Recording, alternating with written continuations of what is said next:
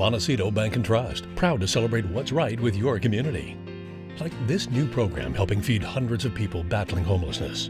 Dignity Health Hospitals donate unused food and distribute to those in need throughout our community. And a new on campus wellness center just opened at this local high school. The program is there to support the mental health of students whenever they need it. It's just like a good place to kick back. It's What's Right with Your Community, brought to you by Montecito Bank and Trust.